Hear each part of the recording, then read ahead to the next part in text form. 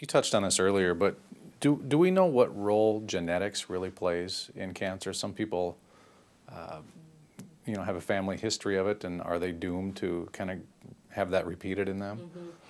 Uh, no, first of all. Um, so, genetics in most cancers across the board, about 5% of cancers are due to an inherited genetic defect. Mm. In breast cancer, because of the BRCA mutation, mm. it goes up to about 10%, which means the majority of cancers are not due to an inherited genetic defect.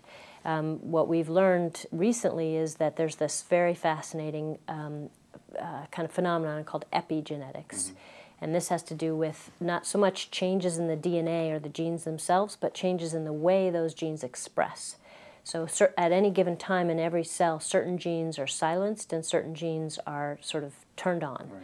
And that pattern of silencing and being turned on will influence not only the cell, but very particularly will influence cell repair and um, or will cause certain growth genes to be overactive, which would be called a tumor promoter gene. So what we know now is that how we live our life has a lot of influence on the gene expression, the pattern of turning those on and off.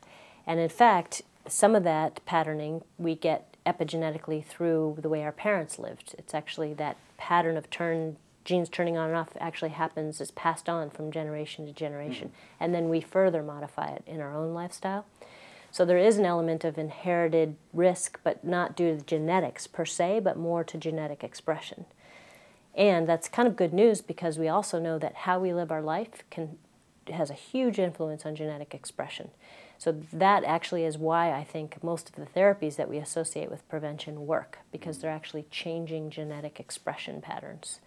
And uh, you know, this really opens up tremendous opportunity for us to to to create prevention effects. Mm.